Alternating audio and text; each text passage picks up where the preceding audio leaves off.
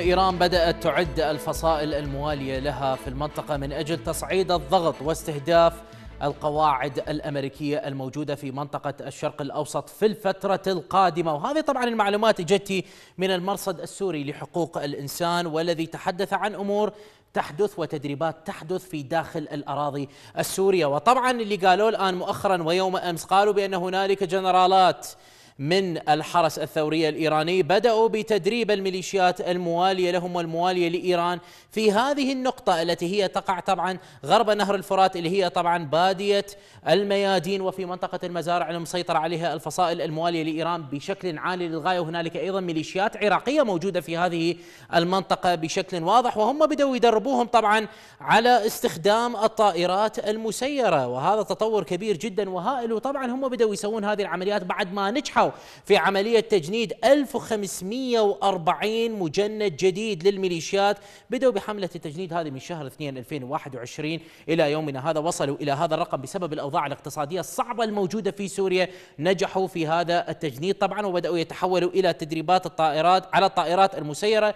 وتفاصيل هذا التدريب طبعا هم بدأوا ب 25 شخص الآن هم اللي يدربوهم وقسموهم إلى خمسة مجموعات. كل مجموعة تتدرب على طائرة مسيرة واحدة مبدئيا. والمثير بهذه القضية بأن المنطقة اللي يدربون بها اللي هي منطقة المزارع في بادية الميادين في هذه النقطة هي انضربت مؤخرا. يعني صارت ضربة آه، حتى هذه اللحظة لا أحد يعرف تفاصيلها. هل هي جاءت من إسرائيل أم هي جاءت من الولايات المتحدة الأمريكية بشكل غير معلن؟ والضربة استهدفت منصات لإطلاق الصواريخ ومخازن تابعة للميليشيات وانجرحوا أصلا 12 من الميليشيات الموالية لهم. لم يقتل أحد على الأقل بحسب المعلومات التي نشرت من المرصد السوري لحقوق الإنسان. ودمرت أغلب هذه المنصات بشكل كبير. وطبعا هي كانت متوجهة من منطقة المزارع مباشرة على هذه النقطة التي تقع شرق نهر الفرات التي تمثل قاعدة حقل العمر النفطي اللي مسيطرين عليها طبعا التحالف الدولي والمسافة تبعد فقط 8 كيلومتر والآن بالتدريب على الطائرات المسيرة بهذه الكثافة والتصعيد بهذا الشكل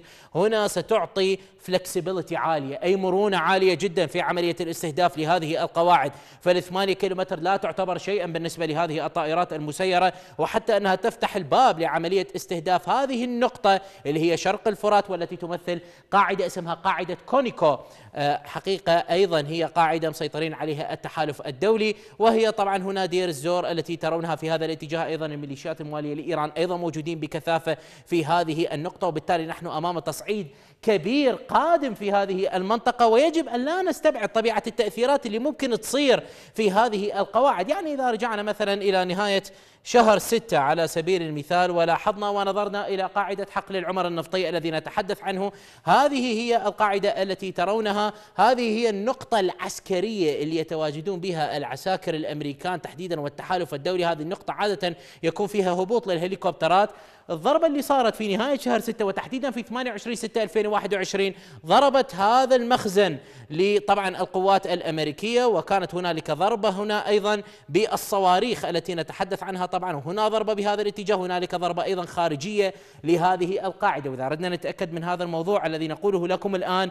نذهب إلى بلانت صورة من الأقمار الصناعية في يوم 29 6 2021 بعد يوم فقط من هذه الضربة. سنلاحظ فعلا أن هنالك ضربة مؤثرة بهذه النقطة وبهذه النقطة مثل ما أشرناها لكم. وهنا نقطة وهذه الضربة البعيدة التي تحدثنا عنها بهذا الاتجاه من قبل بلانت وفي 29 6 2021 وطبعا هذه القضية هنالك غموض لا زال مستمرا في هذه المنطقة. هنالك مشكلة أنه بعد الضربة اللي صارت من التحالف الدولي على آه، المنصات لإطلاق الصواريخ في هذه المنطقة اللي هي منطقة المزارع في بادية الميادين. كانت هنالك ضربة بعدها وبعدها أيضا كانت هنالك ضربة اللي هي قبل ثلاثة أيام أيضا المرصد السوري لحقوق الإنسان تحدث عنها صارت في البو كمال هذه هي طبعا الحدود العراقية السورية التي ترونها البو كمال في داخل سوريا. طبعا الضربة صارت بطائرة مسيرة بصاروخين على منطقة اسمها منطقة الكتف. وسمعت انفجارات وأيضا سمعت عملية إطلاق نار بحسب المرصد السوري لحقوق الإنسان من قبل. طبعا الفصائل الموالية لإيران بضربة ضربوا هذه الطائرة المسيرة بالأسلحة الثقيلة وردوا عليها ولكن لم يعرف أحد التفاصيل أنه هل ضربت هذه الطائرة ما الذي جرى ما الذي تم استهدافه. كذلك أن التحالف الدولي هذه يعني تقريبا إلى المرة الثالثة أو المرة الثانية على التوالي لم ينفوا ولم يؤكدوا شيئا وحتى إسرائيل لا تصرح بهذا الموضوع والفصائل أيضا لا تصرح بأي شيء. ولذلك هنالك غموض كبير في هذه المنطقة ولكن في نفس الوقت أن كل هذه الأمور تصير تحت أنظار الولايات المتحدة الأمريكية. لوحظ يوم أمس هنالك طيران أمريكي موجود في داخل الأراضي العراقية بهذا الاتجاه وهذا الطيران الأمريكي إذا ما جينا إلى الرادار وشفناه سنلاحظ فعلا أن هنالك طائرة تطير بهذا الاتجاه.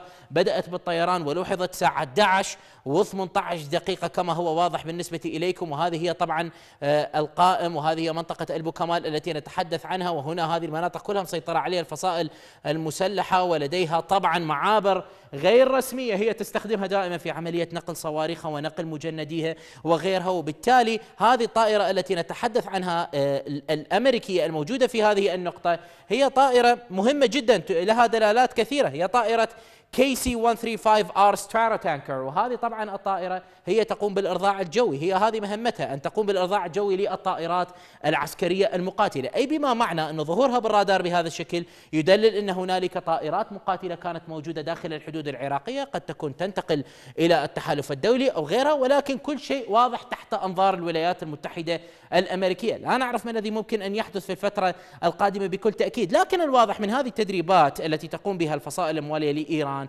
والحرس الثوري الإيراني على هذه الطائرات المسيرة في الداخل السوري.